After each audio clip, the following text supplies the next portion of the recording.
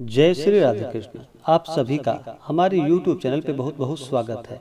आइए जानते हैं आज के दैनिक पंचांग के बारे में व्रत के बारे में और आज के दिन और रात्रि के शुभ चौघड़िया मुहूर्त के बारे में। आज दिनांक 30 अगस्त 2022 दिन मंगलवार। मंगलवार। हनुमान जी का दिन माना गया है। आज जिनका भी जन्मदिन है उनको उनके जन्मदिन की ढेर सारी शुभकामनाएँ। जिनका भी विवाह का सालगिरह है उनको भी ढेर सारी शुभकामनाएँ। हमारे YouTube चैनल पे आप जितने भी व्रत और कथा को सुनने वाले हैं तथा पंचांग को सुनने वाले हैं आप सभी भक्तों के ऊपर हनुमान जी का कृपा सदैव बना रहे। सभी सदा स्वस्थ रहें और सदा खुशहाल रहें। आज भाद्रपद माह शुक्ल पक्ष की तृतीया तिथि होगी दोपहर तीन बजकर चौतीस मिनट तक। आज के दिन हरितालिका तीज का व्रत किया जाएगा।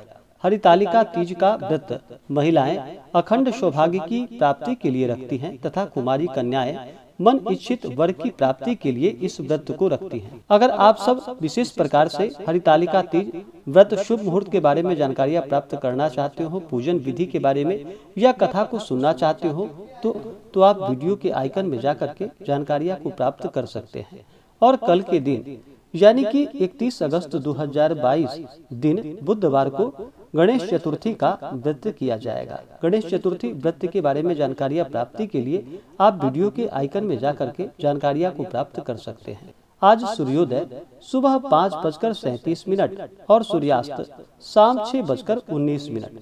चंद्रोदय, यानी कि चंद्रमा उदित होंगे सुबह आठ बजकर चार मिनट पे और चंद्रास्त, यानी कि चंद्रमा अस्त होंगे रात्रि आठ बजकर सोलह मिनट पे। सूर्य सिंह राशि में रहेंगे और चंद्रमा कन्या राशि में। यह वर्षा ऋतु है, अयन दक्षिणायन रहेगा। योग, शुभ योग। रात्रि बारह बजकर पाँच मिनट तक, उसके बाद शुक्ल योग। आज रवि योग भी होगा, जो कि सुबह पाँच बजकर अंठावन मिनट से रात्रि ग्यारह बजकर पचास मिनट तक। विजय मुहूर्त, दोपहर दो बजकर उनतीस मिनट से दोपहर तीन बजकर आठ मिनट तक।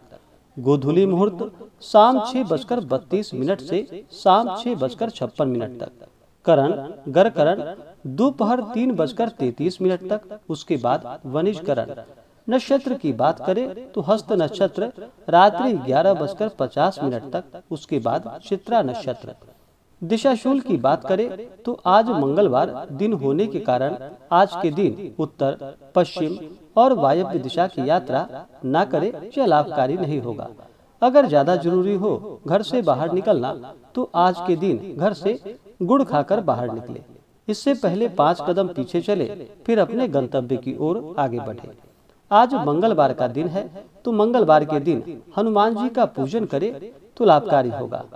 हनुमान जी को प्रसन्न करने के लिए हनुमान जी को लाल रंग का पुष्प चढ़ाएँ, उन्हें लाल रंग का चोला चढ़ाएँ, सिंदूर चढ़ाएँ, हनुमान जी को धूप दीप दिखाएँ, हनुमान चालीसा सुंदरकांड बजरंग बाण आदि का पाठ करें तो लाभकारी होगा।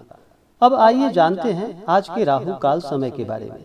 राहु काल समय की बात करें तो राहु काल समय के दौरान कोई भी शुभ कार्य या नया कार्य नहीं करना चाहिए या लाभकारी नहीं होता है। तो राहु काल का समय होगा दोपहर तीन बजकर नौ मिनट से शाम चार बजकर चौवालीस मिनट तक। गुली कालम समय होगा सुबह ग्यारह बजकर अंठावन मिनट से दोपहर एक बजकर तैतीस मिनट तक। अभिजीत मुहूर्त सुबह ग्यारह बजकर तैतीस मिनट से दोपहर बारह बजकर तेईस मिनट तक। अब आइए जानते हैं आज के दिन और रात्रि के शुभ चौघड़िया मुहूर्त के बारे में। चौघड़िया सात प्रकार की होती है, जिसमें से कि चार शुभ चौघड़िया मुहूर्त और तीन अशुभ चौघड़िया मुहूर्त। तो हम जानेंगे केवल आज के दिन और रात्रि के शुभ चौघड़िया मुहूर्त के बारे में। तो सबसे पहले जानते हैं दिन की शुभ चौघड़िया मुहूर्त। जो कि चर नामक शुभ चौघड़िया मुहूर्त सुबह आठ बजकर अड़तालीस मिनट से सुबह दस बजकर तेईस मिनट तक। उसके बाद लाभ नामक शुभ चौघड़िया मुहूर्त सुबह दस बजकर तेईस मिनट से सुबह ग्यारह बजकर अंठावन मिनट तक। उसके बाद फिर अमृत नामक शुभ चौखड़िया मुहूर्त सुबह ग्यारह बजकर अंठावन मिनट से दोपहर एक बजकर तैतीस मिनट तक। तो यह थी दिन की शुभ चौखड़िया मुहूर्त। अब आइए जानते हैं रात्रि के शुभ चौखड़िया मुहूर्त के बारे में। लाभ नामक शुभ चौखड़िया मुहूर्त, शाम सात बजकर चौवालीस मिनट से रात्रि नौ बजकर नौ मिनट तक।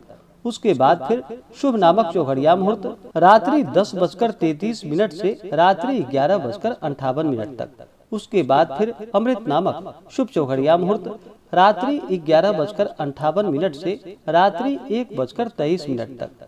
उसके बाद चर नामक शुभ चौखड़िया मुहूर्त, रात्रि एक बजकर तेईस मिनट से रात्रि चार बजकर अड़तालीस मिनट तक। तो यह थी दिन और रात्रि के शुभ चौखड़िया मुहूर्त। यह विक्रम संबत दो हज़ार उन्यासी, रक्षा है और शक संबत उन्नीस सौ चौवालीस, शुभकृत। तो आशा करता हूँ कि यह जानकारी आपको अच्छा लगा हो।